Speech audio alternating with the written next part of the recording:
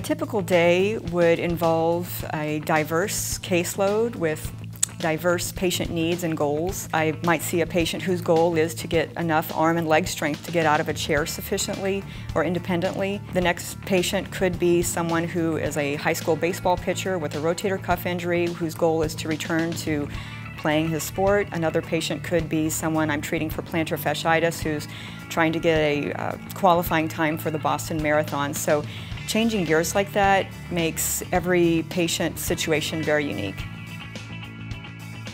When I do an initial evaluation on a patient, uh, one of the main things that I look at is their alignment and see how that might play into the problems that they're having. I want the patient to know that they're going to get a thorough evaluation of alignment and movement patterns and that they should come away with exercise prescription that I give to them that can help them reduce pain and improve flexibility and strength. Understanding the patient's goals are very critical to developing effective treatment plans and it's important to communicate what is realistic and what can, can be achieved in some cases with patients and letting them know that we will try everything that we can for them to achieve their goals.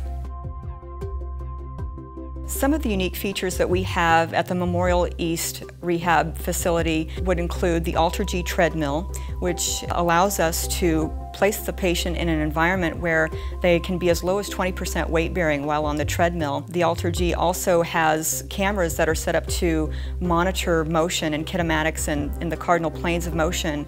Uh, that allows therapists to evaluate and then prescribe exercises to address deficits that we see. Another unique piece of equipment that we have at the Memorial East Clinic is the Biodex SD, which is um, an objective way to measure balance, and we use that on our vestibular patients and balance patients as well.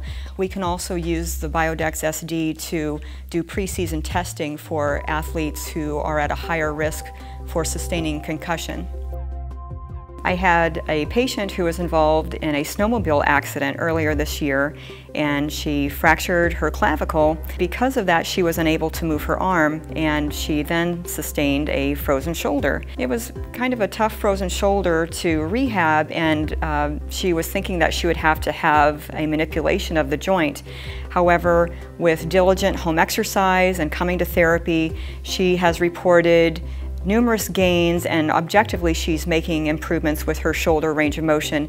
In fact, just recently she uh, told me about one of her little victories in that she could uh, reach her lamp on her nightstand and she thought that was just really great and something like you know putting her hair in a ponytail was was another small victory for her so to hear my patients talk about those kind of gains really is very rewarding.